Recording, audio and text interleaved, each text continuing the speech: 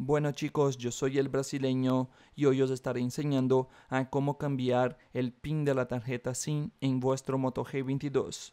Primero, entraremos en ajustes, bajaremos hasta la opción de de a ver, bueno, primero venimos a este buscador, escribimos aquí bloqueo, bloqueo, bloqueo de pantalla, no, bloqueo de la tarjeta SIM, le damos un clic y te trae directamente a la opción donde también podremos entrar manualmente bajando hasta seguridad y privacidad, bajamos hasta más parámetros de la configuración de seguridad y aquí tenemos bloqueo de la tarjeta SIM, donde está, aquí está, le damos un clic, le damos cambiar pin de la tarjeta SIM, ponemos el pin que tenemos actualmente, le damos aceptar, vamos a poner el nuevo código PIN, aceptar y repetimos el nuevo código PIN y aceptar, ¿de acuerdo?